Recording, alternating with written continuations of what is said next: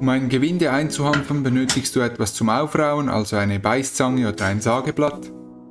Dann natürlich den Hanf und die Gewindedichtpaste. Wenn du ein Kunststoffgewinde abdichten möchtest, kannst du das alles auf die Seite legen und du musst nur ein Teflonband verwenden. Das Teflonband würde ich persönlich nie für metallene Gewinde nehmen, ich erkläre dir später im Video auch warum. Als erstes musst du jetzt das Gewinde, das du einhanfen möchtest, ordentlich aufrauen. Ich nehme dazu immer eine Beißzange, du könntest wie gesagt alternativ auch ein Sageblatt nehmen, aber nur bis zu einer gewissen Größe, so circa ab 1 Zoll wird es dann schwierig mit dem Sageblatt wirklich das Gewinde schön aufzurauen. Jetzt ziehst du dir ganz einfach eine Portion Hanf von der Rolle und legst das Tier ein bisschen schön zurecht.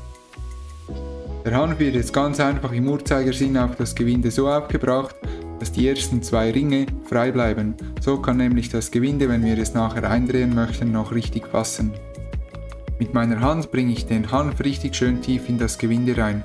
Wenn du ein größeres Gewinde hättest, könntest du auch eine Stahlbürste dazu benutzen. Hier kannst du sehen, dass die ersten zwei Ringe vom Gewinde frei von Hanf sind. Nun nehme ich mir eine kleine Portion von der Lichtpaste und kann diese auf das Gewinde auftragen. Mit meinen Fingern bringe ich die Paste so richtig tief in das Hanf rein. Das mache ich auch im Uhrzeigersinn. Wenn du ein Gewinde mit Teflon abdichten möchtest, dann kannst du das machen, ohne das Gewinde aufzurauen. Du nimmst einfach das Teflon und bringst das im Uhrzeigersinn auf das Gewinde auf. Du darfst nicht sparsam damit sein, sonst ist das Gewinde nachher nicht dicht. Ich rate dir jedoch davon ab, ein Metallgewinde mit Teflonband abzudichten. Wenn du nämlich das Gewinde eindrehst und du drehst ein kleines Stück zurück, dann ist das ziemlich sicher undicht. Wenn du das mit einem eingehanften Gewinde machst, stellt das bei einer kleinen Bewegung zurück nicht ein großes Problem dar und das Gewinde ist ziemlich sicher noch dicht. Bei einem Kunststoffgewinde sieht das Ganze etwas anders aus. Da kannst du nämlich nur Teflonband verwenden, um das abzudichten. Hanf würde da gar nicht halten und würde beim Eindrehen immer ausgedreht werden.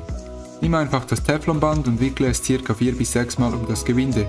Wichtig ist bei beiden Varianten des Abdichtens, dass du das Dichtband immer im Uhrzeigersinn aufdrehst, weil sonst dreht sich das Dichtmedium beim Eindrehen des Gewindes wieder raus. Hier kannst du gut sehen, wie das Gewinde nachher aussehen soll, wenn du das Teflonband aufgewickelt hast.